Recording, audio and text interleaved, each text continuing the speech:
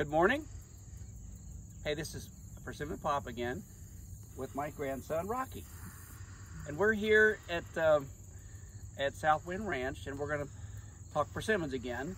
And first of all, this is, uh, I think it's September 15th, so we are picking our early persimmons, our early ripening persimmons, which my favorite is Prok. This is a variety called Prok. Uh, September 10th. Okay, thank you. He's, he's correcting me on the date.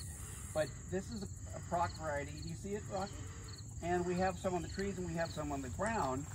Um, and that's why, that's why, uh, that's the, that's the name of the variety that I had hanging on there. Thank you for asking, Rocky. But one of the great things about uh, grand, grandsons and granddaughters is they're smaller. They've got lower center of gravity. So I like to, for them to help me pick the persimmons because my back is getting tired of leaning over and picking these persimmons. And I've got a lot of persimmons this year because the, the medium uh, ripening varieties are going to start being ready next week. And so what are we going to do with all these persimmons? What do you think, Rocky? What should we do with all these persimmons? Maybe we, we could sell them. We could sell them, and that is right. Uh, I take them to the local uh, farmer's market, but I've discovered another thing I like to do this year, which is take them to our local food pantries. And I'd like to share with all of you why I think that's a really good idea. Number one, it's helping the community.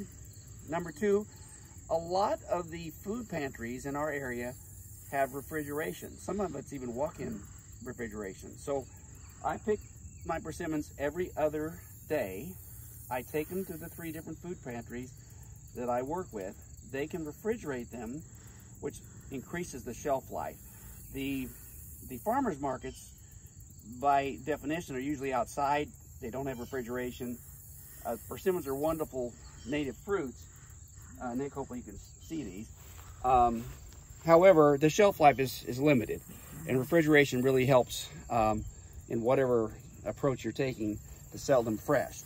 So um, this is the first time I've worked with food pantries, and, and Rocky, I really like it because the people who need food in our area, they can now have a fresh fruit that's very healthy, it's loaded with antioxidants, and lots of vitamins. So I feel like we're doing something for the local folks, don't you think?